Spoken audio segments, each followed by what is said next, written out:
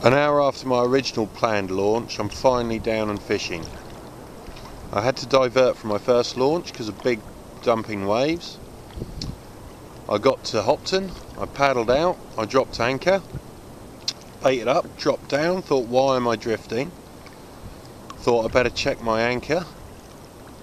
My whole anchor system had disappeared, come off the carabiner on the anchor trolley. So I've just spent 20 minutes paddling around looking for that. I've just located it on my way in to look if I've got a spare in the van. I've now gone to drop down again. I noticed that three black lug have gone straight down my scupper holes. So I don't think I'm going to really do all that well. Still, it's absolutely lovely morning. Gentle rolling swell. Not too much wind. It's really quite pleasant circle hooks this morning. I don't like them. The frozen black lugworm on, which I've slightly defrosted by dipping it in seawater. It's really cold today, so nothing's defrosting on its own very nicely. There was ice on the roads and frost on the kayak and so on. Just going to top it off with a squid head, hook through the eyes. I like the uh, juice that comes out of the eyes, I think it helps.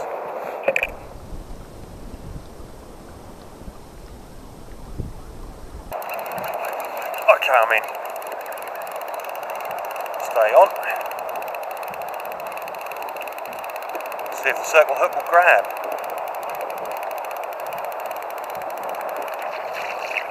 Dropped. I don't like circle hooks.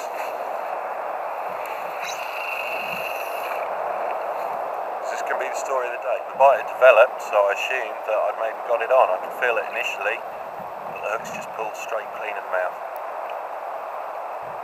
It's probably a double figure cod. Bound to be.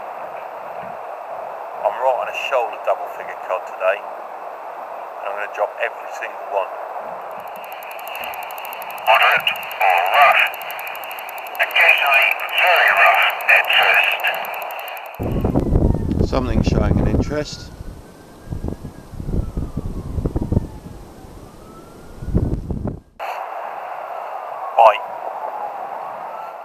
Stay on, you bugger. I've just felt you kick. Stay the fuck on. Off.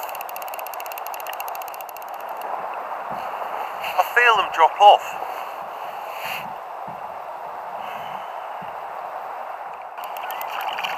J hooks. Great. Hello, little fella. Go you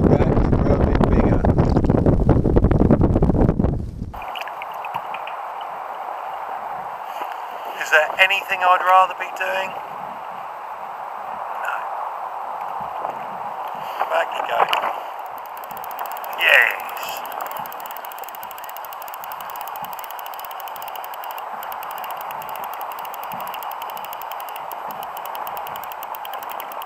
Oh, might be a keeper.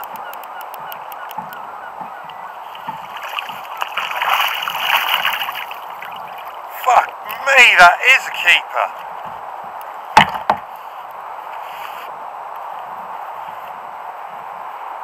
That is a really good whiting. I'm happy with that one.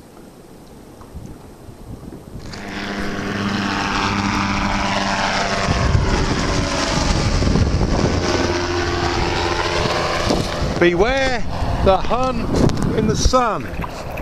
Nice. Double shot.